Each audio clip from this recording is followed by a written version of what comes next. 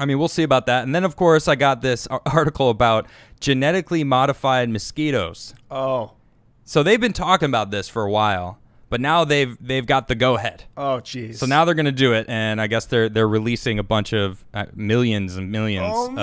of genetically modified Okay. mosquitoes in Florida. Okay. That scares me. Yeah. What the? Should we lead with that? Let's. What- you want to just talk about Yeah, it? what the heck? Let's talk about the mosquito thing. So check us out. This is this is crazy. Millions of genetically modified mosquitoes to be released in Florida. This is nuts. So it's a UK-based company. It plans to uh, proposedly, uh, purposefully, excuse me, release hundreds of millions of genetically modified mosquitoes into Florida. And it, it may sound like a scientific story. Let's see, um, whatever, whatever. Let's see what what why they're doing. That's what I want to know. What is the point of it here? It says insect combating tech company Oxitec has created a male mosquito modified so that all of its offspring die before hatching. Ah, okay.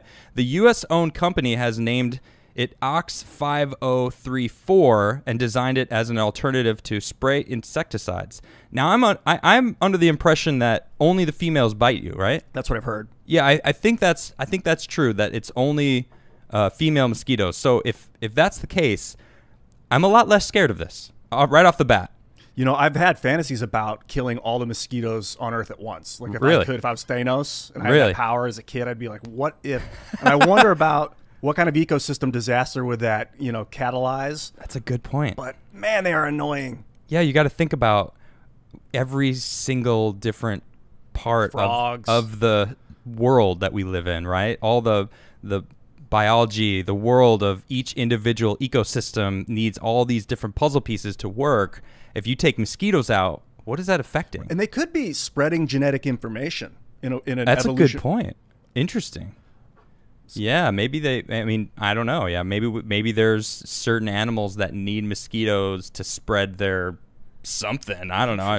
Maybe even down at like a bacteria level, or you know, some sort of uh, I don't know, something something crazy. You know, like. But what what would happen? That's a good point. What happened if someone Thanos mosquitoes just gone and they were out of here? You know what? What would we do? I don't. You know, If it was a video game, I would save the game and Yeah. do it. yeah, save it. Just see. do it see what happens. Oh wait a minute. Uh the world's the world's lighting up. Maybe we should go back Yeah. and uh put the mosquitoes back. I don't know. Well let's let's let's read a little bit more. It says a plan to release more than 750 million of these genetically modified male mosquitoes in the florida keys received environmental protection agency's approval in may. Oh all the way back in may i guess. Okay. And got unanimous go ahead from seven florida agencies in june Although I do know for a fact, because we actually talked about this on Timcast IRL, that the the people were pissed, like the the you know regular civilians that are not part of the decision making were like, "What is this? Like, we don't want this at all." So yeah, I don't know. It's uh, it's crazy. So let's see. It says uh, the project has been seeking approval for more than a decade. CNN re- reported. Wow, a decade. Uh, the modified mosquitoes will be released into Florida over a two-year period starting this summer. Beginning next summer, they will also be released in Harris County, Texas. Uh, said in a May statement following the EPA's approval. So also they're going to rock Texas with this too. Man, I, I hope it doesn't. I mean, you, you brought up a good point. Like, what happens if this totally throws off the whole ecosystem and like plants start dying? Right. You know what I mean? You know, I just thought about mules. I guess probably at some point mules didn't exist, and that's like a horse and a donkey Okay. bred together, and they're sterile. And Are they? Yeah, they don't. Really? Seem, it hasn't seemed to destroy any kind of ecosystem. Huh.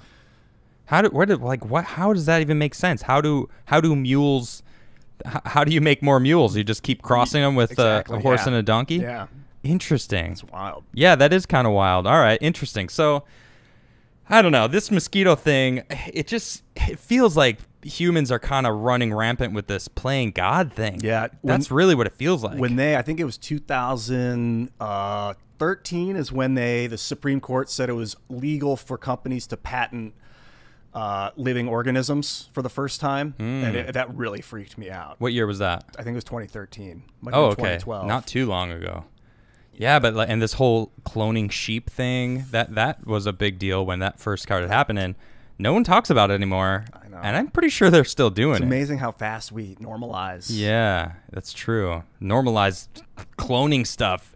Everybody remember Jurassic Park? Remember that? There's actually talks of scientists uh, making a dinosaur just Oh. like Jurassic What? Park. Oh, Have you heard about this? Fantastic. Uh, no. Tell me about it. Well, I don't. I don't have the article pulled up, but I was reading this article about uh, two weeks ago, and essentially that's what they're doing. They're they're saying we actually found DNA. We know how to clone sheep. We can clone the dinosaur off the DNA. Should we do it? It's Of like course. no. What? What you think they should? No, I was being sarcastic. What dinosaur? I don't know. I Oh, didn't. man. I don't think they even know. But it's Wow. like, what? What are they doing? Like, why? they're playing. They're playing God. You know, I- humans are, have become God. That's what. That's what they're saying. I thought that if we have wiped out a lot of species of animals, I don't know if we have, but the ecosystem since the industrialization seems to have killed off, you know, yeah. sparked somewhat of a of a mass, you know, die off of animals. Maybe it's good that we can bring them back genetically.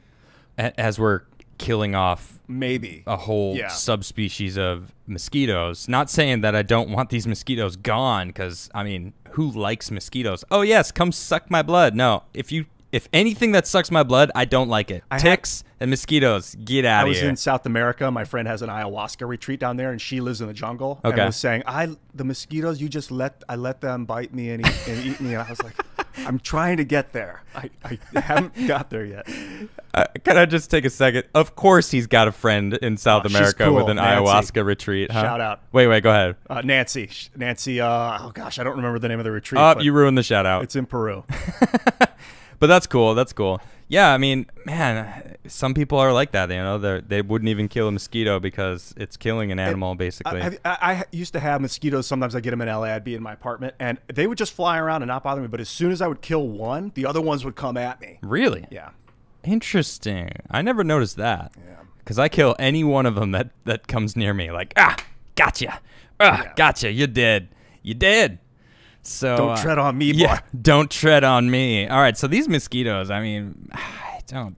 We're we're playing with something that we don't understand, and and you mentioned something just a second ago. There's a, a massive amount of extinction going on. Like species are going extinct all over the world. You know, is it climate change? Is it overforestation? Is it, you know, oh man, I, I could keep going. You know, like scroll. You know, I don't remember what's it called when they uh, tro- trove the the ground in the ocean when they just kind of rake it up. Mm. I- Trawl. trawl, yeah, trawling, yeah. That's that's what I was thinking. Thank you, thank you. And I mean, who knows what else are they doing that we're not that we don't even know about? Oil spills, yeah, Yeah, all the stuff. Flooding can do it. That's a big one. Well, man, and then you know about the flooding that's going on in China right now. It's like it's insane. this is this is regarding the Three Gorges Dam. It is, That's yeah. a big deal. It is a big deal.